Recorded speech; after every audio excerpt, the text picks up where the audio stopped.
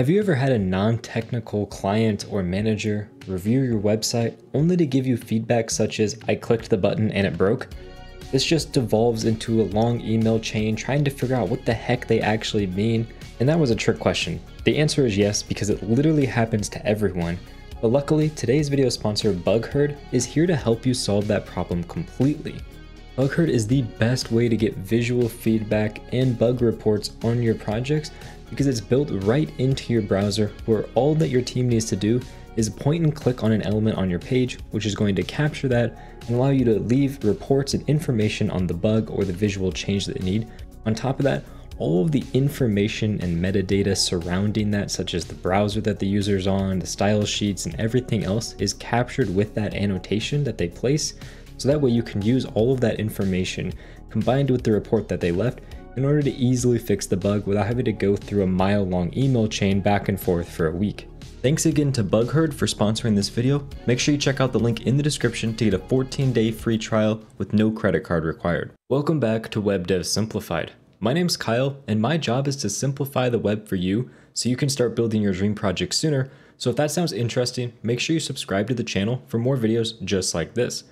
Now in the intro you saw me playing the beginning of Sweet Child O' Mine. I'm just starting to learn that, so don't make fun of my terrible music ability because I have a long ways to go. But you'll notice that we had this visualizer to go along with it. We also had these different controls where we could change the bass, the mid, the treble, as well as the overall volume. And in this video, I'm going to show you exactly how to make this. And right now you'll notice that the visualizer is actually picking up my voice through my microphone, when you watch back the edited version of my video though, I'm not going to be using the output from this application. So if I change the mids, for example, or if I change the bass, it's not actually going to modify the sound of my microphone. It's only going to modify the sound of my guitar, but they both go through the same interface in my computer, which is why right now you're showing seeing it here. But I'm going to edit that out so you don't have to listen to my voice when we change around all these different controls. Okay, now with that all out of the way, let's just get started with a simple index.html file, and then we're going to need a script.js file, because this is going to be all front-end work, and it's actually a lot easier than you would think. So in this index.html, if we hit exclamation point and tab, that's Emmet is just going to generate this boilerplate for us. And if you're interested in how that actually works, I have an entire tutorial on it. I'll link in the cards and the description down below. Now the next thing we're going to do is just link up that script.js file Make sure we add the defer attribute so it loads after our body, and that's pretty much everything we need up here. Now we can work on the content of our application. And it's going to be fairly straightforward HTML. I wanted to make the styling minimal so that way you could make it as cool and styled as you want and really take this application to the next level. It's more so about the JavaScript, so this section is going to be pretty straightforward. The first thing we need is a canvas, which we're just going to give an ID of visualizer. And this is essentially this visualizer down here at the bottom that you see. This is what the canvas is going to be controlling. Now the next thing we're going to need is a grid. And this one is going to have a class, we're just going to call it grid here. So we have a div with the class of grid. And this is what's going to contain all of our controls up here. So let's just create these different controls. Whoops. We're going to have a label. And this label is going to be for our volume. Just like that. And we're just going to say volume in here. Whoops, volume. And then we're going to have an input associated to that. So we can say input, and this is going to be a range input. And this input is not going to worry about the name. We don't really need that, but it is going to have an ID of volume. That way it matches up with our volume label here. I also want to make sure I put some min and max values on here. So the minimum value is obviously going to be zero, no volume at all. Our maximum is going to be one because this is decimal based, so that's like 100%. And then our default value is just going to be 0.5. And we want this to be a step here, whoops, step, which is just 0.01. So it's going to change by 1% at a time when we move our little scroll bar. Now, if we just save this, open it up with live server, it's going to pop up on the right hand side here in just a second. And there you go. We see now, now we have this volume knob that we can change. And now let's get all of our other know, knobs in here. So let's just copy this real quick. Our next one, if we go back to this page over here, is going to be for bass. So let's just change this all around to be associated with bass. It's going to be a range input. We're going to have volume here. And what this is doing is instead of turning the bass on or off, what it's really doing is adjusting the loudness of the bass. So we're reducing and increasing the number of decibels essentially of our bass frequencies. So instead of a min of zero, that would be like no modification at all. We want our min to be negative 10. So this is going to reduce the decibels of all the bass tones by 10 dB. For the max, we're just going to have positive 10. Our value here is going to be zero, And we're just going to delete this step because by default it has a step of 1, so we're going to be changing by 1 dB at a time. Now if we save, come over here, we now have our bass slider right here and our volume slider. Now let's get some more sliders in here. We can copy this down two more times because we're going to have our mids. So let's just make sure we have mid and treble. I'm going to say mid and treble. In here, we're going to have mid and treble. So now if we come over here, we should have all of our different sliders. It's obviously not looking very good right now. So the next step is to get it centered in the top like this. And that's actually fairly straightforward. We're just going to do some styles here because we don't really have very many we need.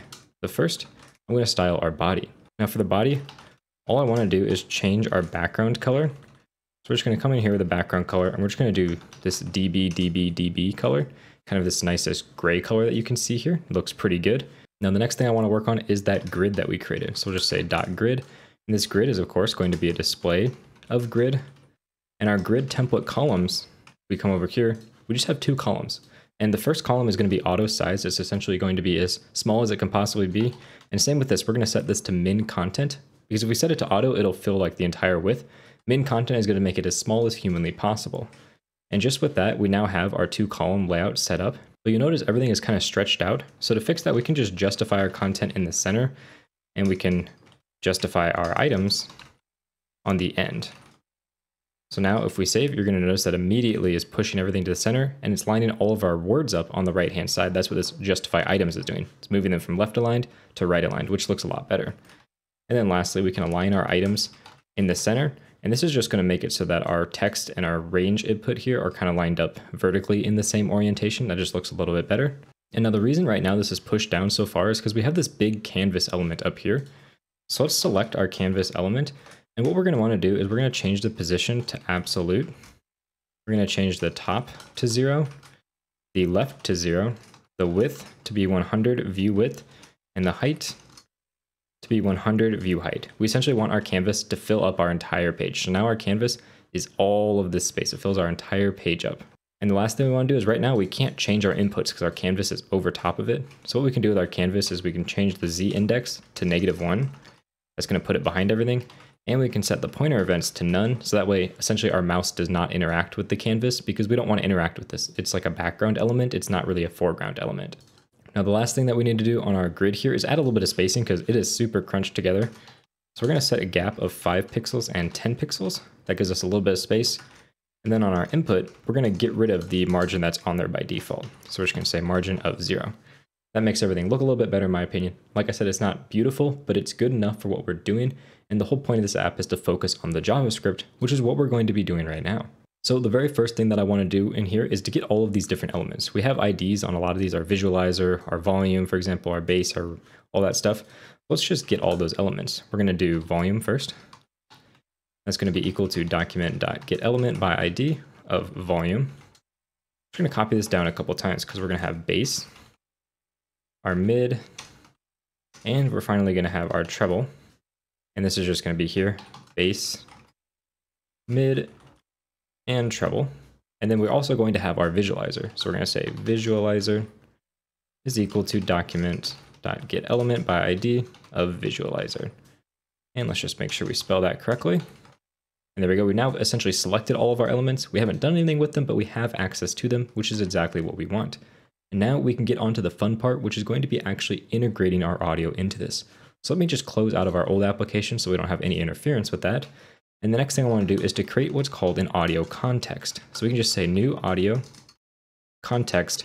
And this audio context is essentially where we're going to control everything about our audio. We're going to change our volume through here, our bass, our mids, our treble. We're going to integrate the guitar into here, which will also integrate my microphone as well. And we can handle all of that and so much more through this audio context.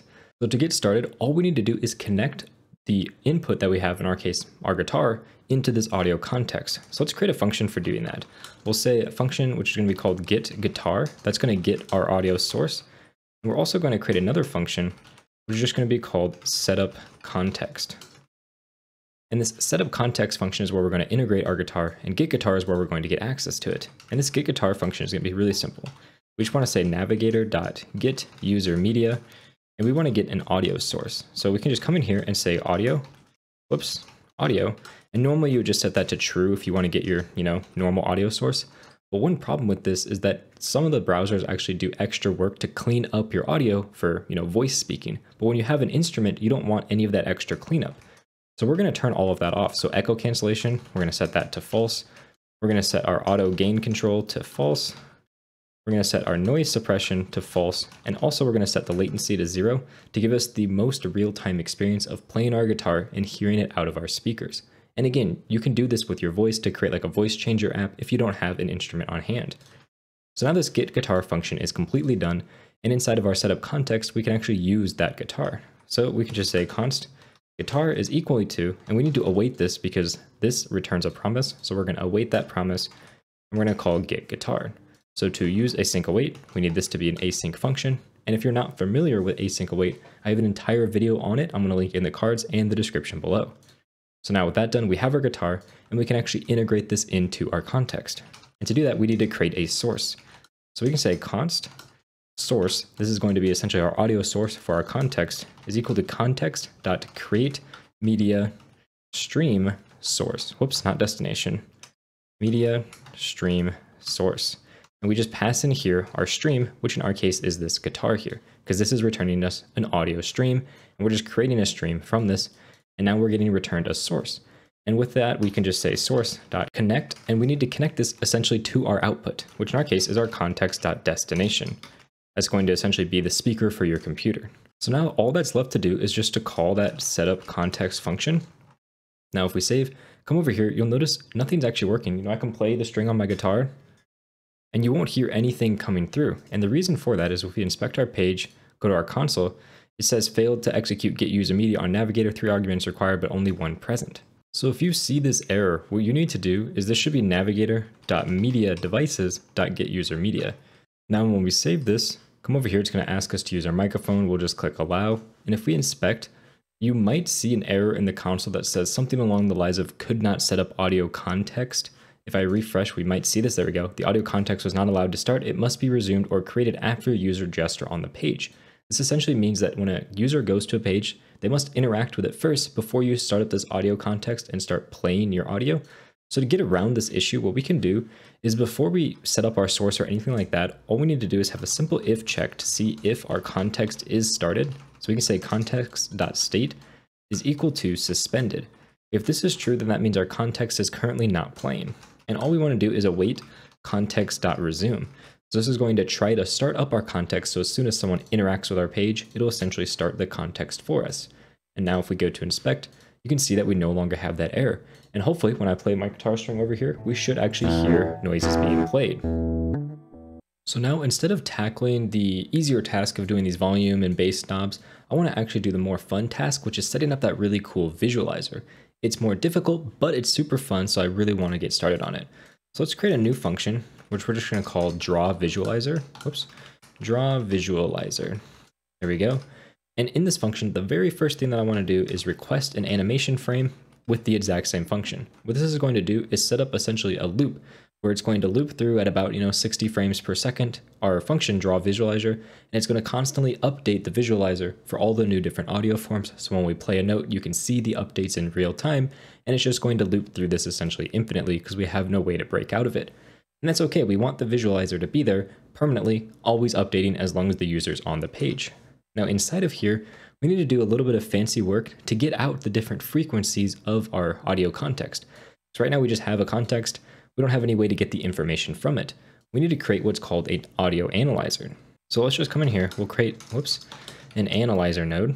So we'll say analyzer node equals new analyzer node, and we need to pass it in the context that we're using to create this. And we can also pass in some options. And I want to pass in the option FFT size, and we're going to pass 256.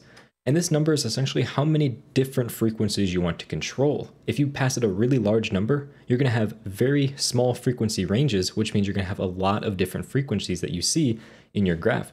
While with a larger number, it's going to consolidate the frequency in, into larger bands. So, you know, maybe from 10 dB to 50 dB in this scenario, or if you had a number of like 1000, you would now have 1000 discrete measurements, so maybe it would only go from 10 to 20, for example. And I can show you the difference when we actually start visualizing and drawing out this graph, but 256 works really well because it's large enough that it is visually appealing, but it's small enough that you can really see changes in your different frequencies. So now inside of our draw visualizer, we have this analyzer and we need to connect it first to our context. So inside setup context, let's just do our connect. So right before our destination, we just say connect analyzer node. So now we're actually analyzing the information of the audio coming from our audio context. And in here, what we can do is actually get that frequency information. So we're going to say buffer length is equal to analyzer node, whoops, analyzer node dot frequency bin count. And this is going to essentially give us a number for how many different frequencies we're going to be measuring. The next thing we're going to want to do is to create an array. So we can say data array is equal to a new, and we want this to be a uint8 array because it's just going to be 8-bit unsigned integers that are going to be returned to us. So we have our data array, and we want it to be the same length of our buffer right here because this is how many different frequencies we're getting from our analyzer node. And then finally, we can populate that array, because right now it's an empty array, by saying get byte frequency data, just like this, and we pass it in our data array. So now this array is essentially populated with the value that corresponds to how loud that particular frequency is, and this frequency bin count determines how many different frequencies we are actually measuring. So now what we can do is actually draw this on our canvas. So we need to get the width and the height of our canvas, which is just equal to visualizer.width. And we can do the same exact thing down here for height. That's going to be our visualizer height. And now we need to determine how wide each one of the bars in our visualizer are going to be. So we can say bar width. And this is actually fairly straightforward. All we need to do is take the width of our entire graph, in our case, the width of our visualizer, and we're going to divide it by the number of you know, different frequencies we have, which is our buffer length. This gives us an evenly segmented number so we can see exactly how many frequencies there are. And if we increase our frequency bin count by updating this FFT, we'll have, you know, a smaller bar width, or if we decrease it, we'll have a wider bar width to make sure it fills the entire space. And again, I'll show you that in a little bit once we get the frequency, you know, visualizer up and running. Now, the very last thing we need to do is actually get our canvas. So we'll say our canvas context is equal to visualizer dot get context. We're going to be getting a two-dimensional context, so we'll pass in 2D here, and then all we want to do is just clear it. So let's say canvas context dot clear rect 0, 0, width, and height. So this is going to go from the bottom left corner, bottom top corner, I'm sorry, the top left corner, and it's just going to draw a rectangle clearing out this entire canvas, which is exactly what we want. Now we can loop through our data array and just say for each item, and we're going to get the index as well, because we're going to use that instead of our calculation. Now what we can do is draw each one of our frequency bar graphs. It's essentially just a vertical rectangle. And all we need to do is get our top Y position, and this top Y position is going to be equal to our item, which is our frequency essentially. That's this right here inside of our array. It's the like strength of our frequency. And what we want to do is we want to divide that by 255. That's going to give us a number between 0 and 1, because 255 is the maximum value for our frequency and 0 is the lowest value. So this is going to give us a value between 0 and 1. And then to scale that to the height of our document, we can just multiply that by our height. So this is going to draw a bar from either the very bottom of our page all the way up to the very top of our page. But we don't want a bar that tall. We only want the bars to go halfway up our page. So we can instead divide by 2 here. And that's just going to have our height. So the max height of our bar is going to be half the height of our page. Now to get our x position, this is actually pretty easy. We just take the width of each individual bar and we multiply it by the index that we're currently on. So if we're on the 10th value, it's going to be 10 times the width of our bar, which essentially moves us over 10 bar placements. Pretty straightforward. Now we can actually draw this. So we can say canvas context dot fill style. This is going to be what color we do. For now, I'm just going to print out all of these as black bars. So we'll just do RGB 000. Just for now, we're going to change it to make it super cool and colorful in a little bit. I just want to get it on the screen. Now to actually draw this, we'll do a fill rect. It's going to start at our X position. That's like where our X is going to be. And our Y position is just our height minus our Y because we want it to be the bottom half and not the top half of our graph. So if our y was 0, for example, it would be all the way up here. But when we subtract that from our height, we're going to be pushed all the way down here, which is exactly what we want. Now we're going to determine the width of this, which is just going to be our bar width, and the height of this, which is just our y element here. So now with all of that done, we're drawing out our elements. We can click save and see if this actually works. And of course, it's not going to do anything yet because we need to call our draw visualizer function. We'll just call that up here, click save, and there you go. We can see that we have our graph being drawn out. I can play a note on my guitar and you can see that it draws that out, play a higher note, and it looks a little bit different. So we know this is working, but you'll notice that A, it's super fuzzy, and B, it's entirely black, which looks pretty terrible. So let's first fix this black color and then move on to fixing the fuzziness, because this black color is really easy to fix. All we need to do is use HSL, and inside of here, we're going to have some kind of value here. Then we're going to have 100% lightness and 50%, or I'm sorry, 100% saturation, 50% lightness. This is going to give us like the brightest color possible. And then here, for our actual hue, what we need to do is determine how tall our bar is. And the taller it is, the more we're going to shift the hue. So a super low bar is going to be red, and then we want to shift up to some bluish purpley color up here. And if you remember correctly, hue goes from 0 to 360, where 0 is red, and then you go all the way through all the colors back to 360, where it is again red. So we don't want to go from 0 to 360, we want to go from maybe 0 to 200. 200 is like a bluish color, so that'd be a good stopping point. So what we can do for that is we just take our y point and we divide it by our height.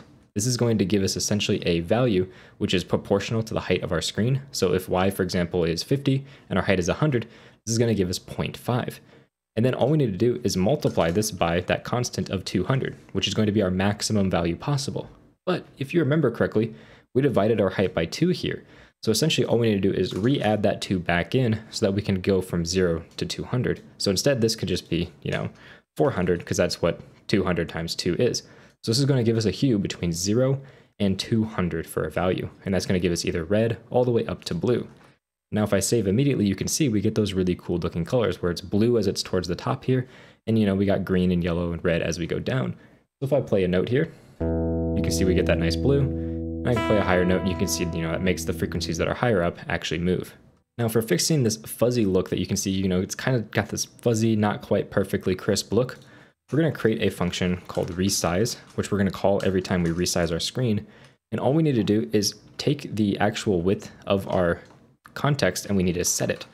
So right now we have the width of our context being set in CSS, but we're not actually setting it on our canvas itself. So here we're going to set the width equal to the CSS width, which is just our client width.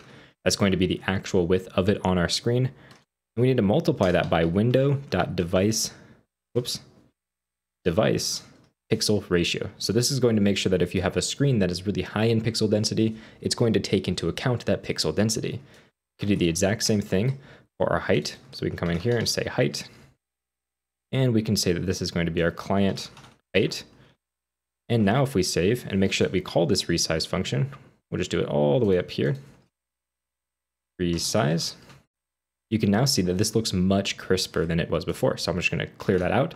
You can see it's got a kind of fuzzy look to it. And now when we add that back in, it has much crisper looking bars, which looks way better. It may be a bit difficult to tell the difference on YouTube, but I can assure you looking at it in person, it is a massive difference. And now with these bars here, let's actually take into account what it looks like if we increase or decrease this number. Let's just say we had a really low number. For example, we're going to have this number. So we're going to go to 128 and we save. You now notice our bars are twice as thick as they were before. So we have wider bars, which means they encapsulate a larger frequency band and it's kind of more of an average as opposed to if we increase this drastically. For example, let's say we go to 1024, that's about four times as large, and we save, you can see we now have very small frequency bands. And something cool about this is if I play a note on the guitar, you can see that it kind of spikes up different points along the line, and that's because a note is actually just a wavelength, and it's popping up all the different points where that wavelength actually meets inside of our frequency band. So you think like a sinusoidal wave, it's actually showing that inside of these wavelengths because we have such granularity. But generally when you have a visualizer like this, you don't really want that granularity. So this 256 looks much better. It smooths things out and it looks really good overall. So now the next step is actually going to be one of the easier ones for our application, and that's going to be setting up the event listeners so that all of these different knobs do something. And the very first event listener I want to set up is actually going to be an event listener that's associated with this resize function, because right now we only resize once, but what happens if I change our browser size? like this for example, it's going to make this slightly blurry because it doesn't quite have the correct width being set. So what we need to do instead is set up an event listener for that. So we can just create a function called setup event listeners. There, whoops, I cannot spell, there we go.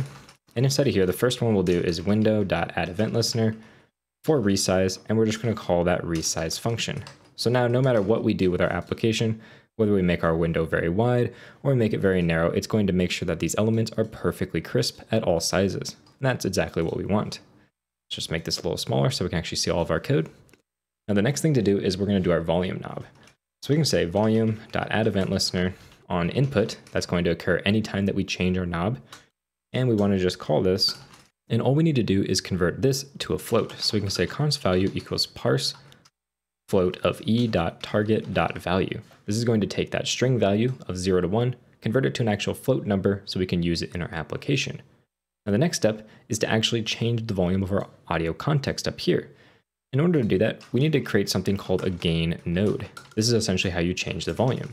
And we can set our gain node, pass it in our context, and for our default gain, we're just going to pass in our volume dot whoops volume dot value just like that. So now inside of here, we can say gain node dot gain dot value, and we can set it equal to our value. Now, in order to get this to work, let's just call setup event listeners. Let's make sure that inside of our setup context, we apply that gain node. And we want to do this before our visualizer so that all of our changes to our gain, our volume essentially are you know, visualized in our visualizer. If we do the visualizer before, it won't actually pick up on the volume changes. So now if we save that, you can see that if I change the volume, this visualizer is changing at zero. Obviously it's zero. And as I go way up here, you can see that now my visualizer is peaking much higher and here it is peaking much lower. And you'll notice though a slight problem. If I play a note, you may hear some popping or clicking sounds when I change the volume.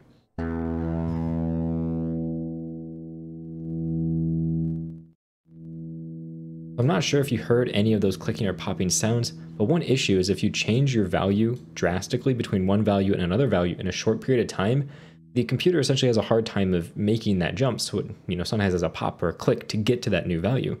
But luckily, you can actually fix that really easily by calling a function here called set at target time. We give it our value here, which is where we want to be. We give it our start time, which is just our current time or our context. Then we give it essentially a change value, so 0.01.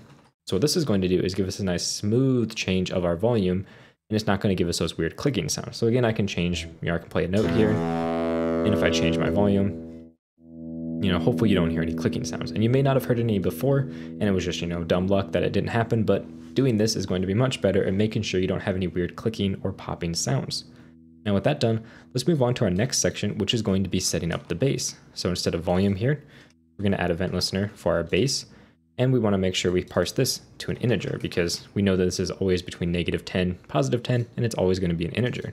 But instead of setting our you know gain node, what we need to do is take our base EQ. We'll just call it base EQ. And this base EQ is going to modify the EQ, essentially the volume of different frequencies. So up here, let's create that base EQ. And this is going to be equal to something called a biquad filter node. We'll pass it in our context, and here we specify all of our different options.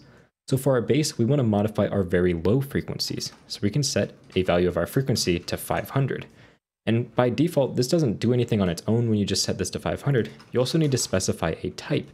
And in our case, we want to do everything underneath the frequency 500. So we use a low shelf. What this does is it modifies everything under the frequency 500. And gain is just going to be essentially how much we increase or decrease that by, which is just the value of bass. So we'll say bass.value here. So now if I save this, make sure down here we apply our base. We'll just put it all the way up here. So we'll connect our bass EQ. Now we hopefully should be able to see changes in bass. If I max this out, you should hopefully see the bass section increase. I'll play a note. And when I decrease it, you should see that decrease. This did not really make any noticeable change though, so obviously we have an error. Let's just see if we do. In our console, you see we have uncaught reference bass EQ is not defined on line 31. Looks like here I just spelled bass wrong, wrong type of bass there. So now let's make sure we don't have any errors. Nothing in the console. Now if we change this bass and I lower it by a bunch, you should see these bars are lower, so I'll play a note. And as I increase the bass, you should see it increase. Just like that. So now we're able to modify those bass frequencies. We saw this bottom section increased and decreased as I changed my bass slider. Let's do the exact same thing, but we're gonna do mid, for example. And this is going to be a mid EQ. And down here, we wanna make sure we have our mid EQ. And mid is actually going to be slightly different than bass in the way that we set this up. It's going to be similar, but a little different. We're using the same biquad filter node. Our frequency here, we'll just use 1500 as a nice value. We want this to be our mid value. But instead of doing a low shelf, because we don't want to do everything under it, and we can't do what the opposite of a low shelf is because we don't want to do everything above it either. We want to do kind of a range around this 1500. And that's what something called peaking is used for. So peaking essentially says we're going to have a peak and it's going to raise up at this 1500 and slowly die off until we don't have any further change at all. So it's going to kind of have a range uh, that it's going to do between, you know, 1500, same on both sides, where it's going to increase or decrease our volume. And to determine how far that range spreads out, we use a factor called the Q. And essentially, the smaller you make this, the larger your range is going to be, and the quicker you make it, the harsher it's going to drop off, and the shorter that range is going to be. So for us, we're just going to use a nice value here of math of square root 1 over 2, so it's the square root of 0.5. This is going to be a nice and small number that gives us a large enough range without overlapping in our bass and our high sections too much.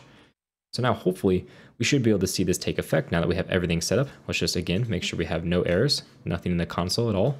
So now over here, whoops, not treble. What we can do, I'll play a note. Now we can change our mid, up and down. You should see it make a little bit of a change in this section down here. There we go. So now the very last thing to do is essentially the exact same thing, but with treble. So copy this down one more time, but instead of mid, we're gonna have treble. And instead of mid EQ, we're gonna have our treble EQ. And we're gonna add in our treble EQ here. And up here, I'm gonna copy this bass one because bass and treble are almost exactly the same. The only difference is that this is going to be a high shelf instead of a low shelf. So it's going to be everything above a certain frequency. And we obviously want to have a larger frequency of 3000, for example, and change our treble value. Now, hopefully, if we did everything correctly, let's inspect. Console looks good. If I come over here, I'll play a note, for example.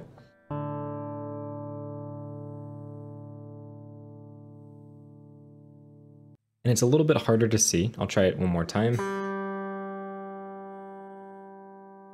But you can see kind of these frequencies over in this section, they'll raise up and lower down just a little bit. You see a minor change. It's a little bit harder to tell for sure, but it's definitely making a difference. And that's all it takes to make this awesome visualizer slash amplifier inside of your browser. If you enjoyed this video, make sure to check out my other videos linked over here and subscribe to the channel for more videos just like this. Thank you very much for watching and have a good day.